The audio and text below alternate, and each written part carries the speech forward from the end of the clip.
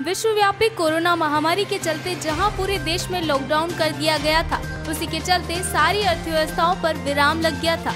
वहीं हम अब बस और ट्रेन की बात करें तो यह भी लॉकडाउन से अछूते नहीं रहे, लेकिन धीरे धीरे सारी अर्थव्यवस्थाओं को केंद्र व राज्य सरकार द्वारा खोल दिया गया है। बसों का परिवहन शुरू हो गया है। देखा गया कि आम जनता की लाइफलाइन कही जाने वाली छोटी दूरी की लोकल ट्रेनें लॉकडाउन के बाद से ही नीमच स्टेशन पर आना बंद हो गई थी।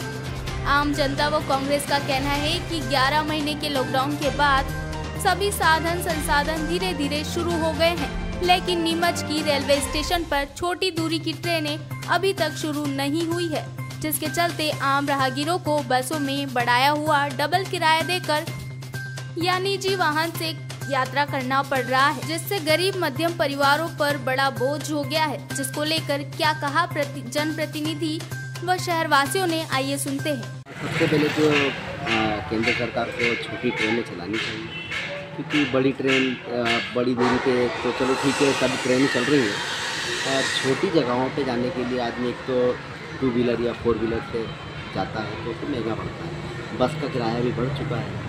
तो जो आम पब्लिक उसकी जो ट्रेनें चलनी चलो ठीक है जो जिनके पास साधन हो, वो तो चले जाएँगे।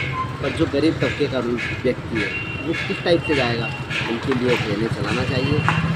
क्योंकि गरीब तबके का व्यक्ति ना तो टू व्हीलर या फोर व्हीलर उसके पास साधन ही नहीं है। तो वो क्या करेगा? कहाँ से जाएगा? उसके लिए ट्रेन, केंद्र सरकार को ट्रेन चलानी चाहिए। देखिए, कोरोना काल के अंदर रेल मंत्रालय द्वारा नियमित चल रही ट्रेनों को बंद कर दिया गया। आज कोरोना काल को करीब 11 महीने हो गए हैं। पर फिर भी हमारे यहाँ की जनप्रतिनिधियों की उदासीनता के चलते हमें लोकल रूट की ट्रेन जैसे नीमच डेमो जो भिलवाड़ा से रतलाम चलती थी, नीमच से इंदौर, छोटे रूट की ट्रेनें अभी तक हमारे जनप्रतिनिधि, सांसद उपलब्ध नहीं करा पाए। यह उनकी उदासीनता का परिचय, परिचायक है। निश्चित रूप से ट्रेनें छोटे रूट पे नहीं चलने से आम जन को काफ़ी मुश्किलों का, कठिनाइयों का सामना करना पड़ रहा है।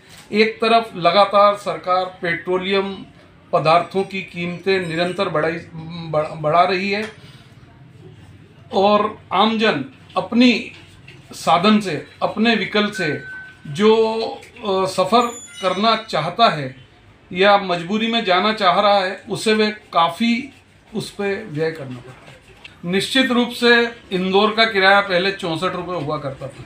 आज जो ट्रेन इंदौर के लिए एकमात्र ट्रेन जो उपलब्ध है जो शाम को साढ़े छः बजे करीब नीमच से चलती है उसमें रिजर्वेशन कराना ज़रूरी है और एक सौ का किराया उपभोक्ता से लिया जाता है। साथ ही अगर वो कैंसिल कराता है तो साठ रुपये उसके टिकट से काटे काटे जाते हैं। लोकल नाम से उसी लोकल ट्रेन को एक्सप्रेस ट्रेन का नाम दे दिया और आम जन की जेब को अधिक किराया लेकर काटा जा रहा है। ये सरकार एवं जनप्रतिनिधि, जनप्रतिनिधियों की नाकामी, नाकामयाबी का एक उदाहरण है।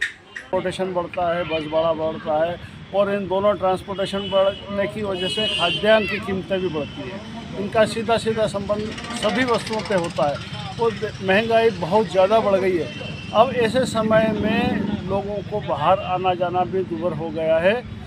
पहले एक सस्ता सा साधन था लोगों के पास बाहर आने जाने का, ट्रेन का। ट्रेन में भी हम देख रहे हैं कि अभी जो कम दूरी की ट्रेनें हैं, वो तो बंद कर दी गई हैं।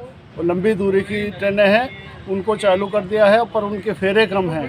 और जो कम दूरी की ट्रेनें हैं, उनको भी एक्सप्रेस के नाम पर उनका किराया बढ़ा दिया जबकि ट्रेनें वही हैं, डब्बे वही है, समय भी वही लगता है, परंतु एक्सप्रेस के नाम पर उनका किराया भी बढ़ा दिया।